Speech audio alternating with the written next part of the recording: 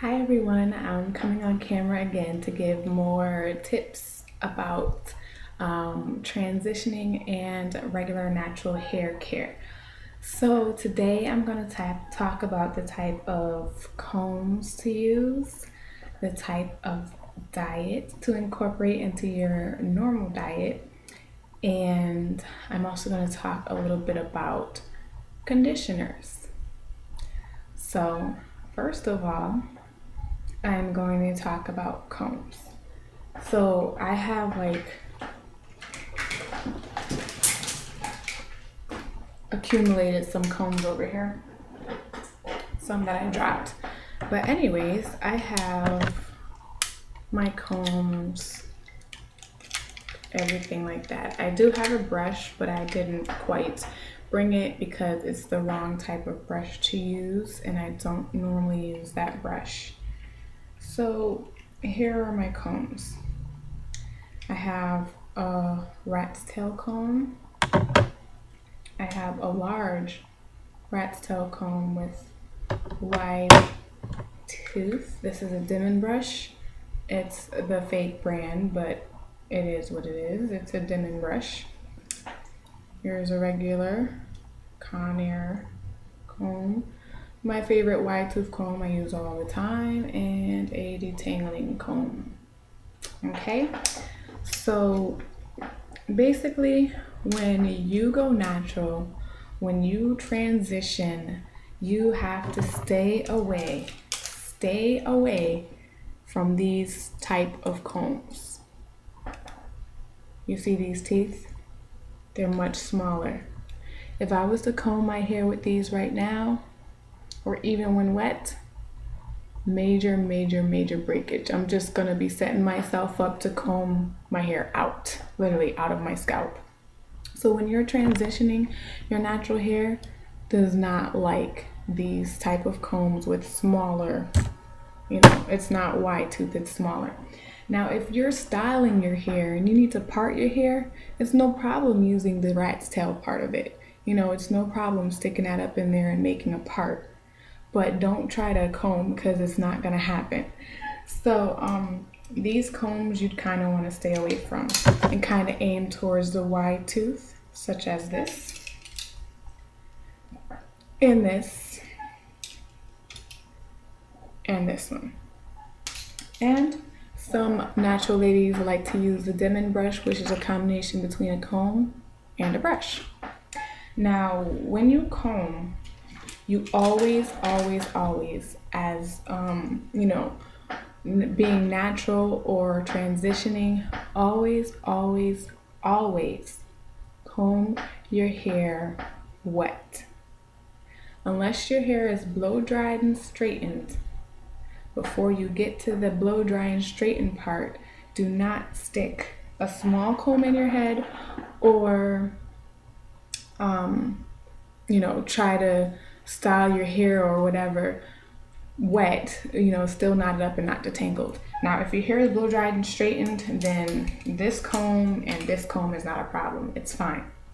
But if your hair is wet and in a curly state, always comb your hair then and comb it with a wide tooth comb and start from the ends and work your way on up to the top, making sure you, you know, comb it down through getting the knots out all the way down and you if you have a lot of hair it's best to take and work in small sections and work your way up.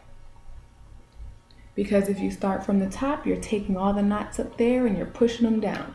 And when you push them down there's going to accumulate a big old knot right here versus and all of what you didn't comb yet. You don't want to do that. You got to work your way from the bottom up. Okay?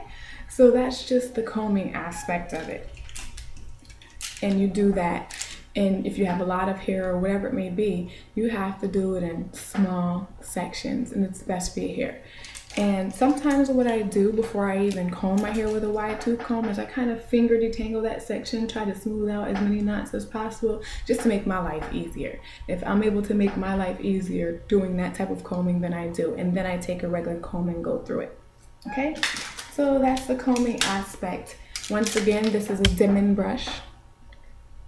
I got this at Marshall's for like $4 and I kind of like bent it up because I was trying to take this cap off of it. It's supposed to be removable, but I use this every now and then just in case anyone was going to ask. And then you can get these from your regular beauty supply store or Walmart. All the rest of these combs. I believe this one came in a pack of like 12 different types of combs. Okay? So that's that. Next, I'm going to talk about conditioners. I have Herbal Essence Hello Hydration. I have Aveeno Nourish and Moisturize. I have essential oils, rosemary mint, and I have, ooh, this is a shampoo, not conditioner. So I'm gonna get rid of that one. That's the Aveeno. And I have the um, Shea Moisture Restored um, Shea Raw Shea Butter Restorative Conditioner. And I have my all-time favorite Cantu Shea Butter Leave-In Conditioner. Okay, so let's talk conditioners. What type of conditioners are you to use? Um, since I'm showing you all these conditioners, I use them. These are the ones I use, but each have their own level of ingredients. And I would like to say that this product right here, Shea Moisture Restorative Conditioner, is 100% organic. All of it's organic, and every ingredient in here I understand. So the ingredients in here is water, shea butter, argan oil, coconut oil, uh, essential oil blend, vegetable glycerin, um, emulsifying wax, sea kelp extract, vitamin B5, avocado oil, honeysuckle flower, uh, Japanese honeysuckle, vitamin E, and carrot seed oil. I understand all that. It has no parabens, um, no paraffin, no gluten, no mineral oil, no synthetic fragrance, no synthetic color, and no animal ingredients. So this is 100% organic and I under, it has everything in here that's good for your hair and everything out of it that's not good for your hair. So that's that. Now this product is good to use and they range about $10 per bottle or jar or whatever that you have. But this is good for your hair. Um, and this right here is a um, restorative conditioner. So it has protein in it, especially from the coconut oil, which is about the third or fourth ingredient on here. Oh, and there's also water in here. That's the first ingredient. Um, and shea butter is for the moisture, which is the second ingredient. And then there's argan oil, and then coconut oil is the fourth ingredient. So this is a nice moisturizing protein conditioner. And that's one that I use. Now, I use Hello Hydration, which is regular. Um, and I can admit I don't know everything that is in this conditioner. However, the first ingredient is water. And there are some silicones in here, but it's not um, the type of silicone in here that is to coat your hair so that it's not able to either get any water in or out. Um, it also has coconut oil in here and um, see what else is in here. There's some fragrance in here. However, let me explain how I use this, this conditioner. I use it to co-wash. Now, that's a natural hair term, meaning to wash with conditioner only. And again, that's Herbal Essence Hello Hydration. A lot of naturals actually use herbal essence because it's good for the hair. But like I said, I must admit I don't know every ingredient that's in here. And that's something that I'm still learning along my hair journey. And eventually as I figure it out, um, you know, I'll explain to everyone and uh, we can discuss together if you happen to get to it before I do. But this I use to co-wash, meaning I wash my hair with conditioner. I um, wet my, soak my hair down, take this as if it was shampoo, put it in my hair, lather it in my hair. Now it won't soap up because it, it doesn't have sulfate in it to soap up like shampoo does. But um, it cleans your hair while keeping the moisture still in it because as I will talk about in a minute, shampoo does dry your hair out if you don't use the right kind. So I also use the Herbal Essence Hello Hydration. Now these are what I use. You still need to find what you what is best for you. So I can only make suggestions. I can only share what I use, but you need to find what's best for you. And if the products that I am using is what's best for you, then that's good. But um, when you use these products, see how it treats your hair. See how long your hair may last in its current state um, after a few days or so, and see if that product is good for you. Now, um, this Hello Hydration, even though I use it to co-wash, I do use it sometimes as a leave-in conditioner. And um, it's not a leave-in conditioner, but I do use it. And I tested it out a few times as a leave-in conditioner. And it does absolutely um, nothing wrong to my hair. And it's fine. So I like using this as a leave-in conditioner as well. Now, my other favorite is the Cantu can, um, Butter Leave-In Conditioner. I also use this as... A leave-in. Oh, actually, duh. Yeah, I use it as a leave-in, but I also don't understand all of the ingredients that are in here. But it gets good reviews. Um, it's a natural hair product and it is one of my favorites so it must be doing something right it makes it keeps my hair moisturized wonderfully i bought this probably a little over a month ago and if you can see where it is there we go down at the bottom See, that's where it is. So I obviously use this a lot. But since I made my whipped shea butter, I've kind of been giving this a rest. So this will probably last me a couple more uh, month, months or so. Next thing I use is essential oils, rosemary mint. Now this is my protein conditioner. I will never leave this in. It's a very um like it's very good as far as my protein treatment. I have a moisturizing conditioner, which is um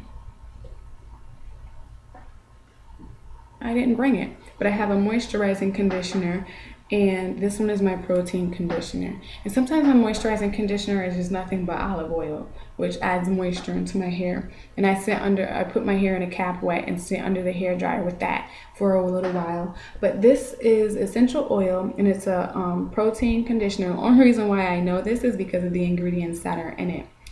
Um, it has quinoa, quinoa, which is rich in protein and amino acids. And it has aloe vera, vitamin A and E, which um, has antioxidants and it. it has coconut oil, which is also rich in protein. It lightly conditions the hair, restores the scalp softness naturally. And it has um, other things such as white tea, chamomile, and calendula. So, but this is, and it smells like menthol. So, it has the mint in there. It, it what is it? It reminds me of Vicks. No lie, it, it smells like Vicks. So this is a, a, very strong protein treatment and I put this in my hair uh, about every other week. So um, no matter how many times I may wash my hair within the week, this is going in my hair every two weeks. I don't put it in, I use a, a less strong protein treatment such as this to put in every other wash. This is every other week. So that's what I use. So those are just some product suggestions that I use okay? This doesn't mean for you to go out and buy them, break your pockets, none of that stuff. Just those are some of the products that I use. And once again, this is for um, those who are thinking about transitioning and those who are at the beginning of their natural hair journey. And even if you're in the middle, because I've been natural for two and a half years and I am just learning how to be a real natural. You know, I, I still used, you know, the regular shampoo and conditioners that I call over the counter, but that are at the drugstore and they they weren't necessarily good for my hair, even though I thought they were. So I'm still learning things as well. So even though I'm not newly natural, um, I'm still learning and I need to learn how to use the right things and I want to share that with other people. So the next thing I want to talk about is shampoo. Now, with me I have a shampoo, Aveeno Nourish and that's not so good for your hair, and a shampoo, which is the Shea Moisture. I shared the conditioner with you that is very good for your hair. Now let me explain the Aveeno Nourish and Moisturize. It has silicones in it. It will strip your hair dry if used over and over and over again um, as to style your hair with and everything like that. Um, and I use this type of shampoo when I have a lot of product buildup and I just want it on up out of my head and I want to um, just re-put that moisture back in there. You can also use apple cider apple cider vinegar um, mixed with water to also strip your hair of product buildup if you want to do it the natural way. But when I get lazy, sometimes I just use regular shampoo, but used over time, it will dry your hair out. It has silicones and sulfates in it, and sulfate is actually what allows your hair to soak up the way it does. It has um, also a lot of fillers in it, which um, I will explain. Um, actually, I have a link that I will post in the description box about further information on some of the ingredients that are in this type of shampoo. So this is a, a shampoo that um, doesn't exactly have in it all the things that are good for my hair. Now it, it does try, it really does try. The first ingredient is water. Um, they have some wheat, oat, and wheat germ in here. Um, and let's see what else they have that may look good because there's a lot of ingredients in here that I do not understand. So um, this is just an example. I'm not bashing Aveeno Nourish and Moisturizer because before I knew a difference, I was like, oh, I love this shampoo. It's so wonderful. It's so beautiful and everything like that. But I wasn't wearing my hair. Oops. I wasn't wearing my hair like this. I was wearing my hair in a roller set state. But I must admit that a couple days later, my hair didn't like the way that it, it my curls didn't stay. My curls didn't stay like they should have. Now, using this shampoo, once again, um, I'll read the ingredients. Water, sugar beets, shea butter, aloe vera leaf juice, argan oil, provitamin B5, rosemary extract, sea kelp extract, vitamin E, honeysuckle, Japanese honeysuckle. Those are all the ingredients in there, and I read every single one and I understood every single one. It has no parabens, no paraffin, no gluten, no mineral oil, no animal ingredients, no synthetic color, no synthetic fragrant, fragrance. This is 100% organic. And the, it doesn't quite soap up as much because once again, there's no sulfate in it, but it cleans your hair and it keeps it nice and squeaky clean. And I can style my hair like this after and a few days later, it's still up and running and kicking. So this is a very good product for your hair. Um, it doesn't have any fillers in it, nothing that will dry your hair out or coat your hair to the point where no water will penetrate into it. And once again, it's made from shea butter, and shea butter is one of those really 100% good moisturizers for your hair and your skin. Okay, so that's basically it. And um, next, but lastly, I want to talk about. Um, Actually, I'll leave that for another time. I was going to talk about diet, um, what to add to your diet, but I will talk about that another time. This video is going on 20 minutes, and I'm really hoping that I didn't bore you ladies um, and gents, whoever are trying to, to, you know, go on your natural journey. So I hope this was helpful feel free to leave questions. Um, I would like to thank all of my new fans on my Facebook page. This video is for you guys and the questions that you have to ask um, and that you have been asking me. Um, I thought that it was easier to talk to you through a video versus sending pages and pages and pages. I'm not quite a blogger. I am not going to sit there and write pages or whatever of explaining myself when I just find it easier to talk to you guys. So, leave your questions, comments, and posts below. Subscribe to my channel for more updates and um, like my Facebook page if you already haven't. So, until next time, I will see all you ladies later. Bye.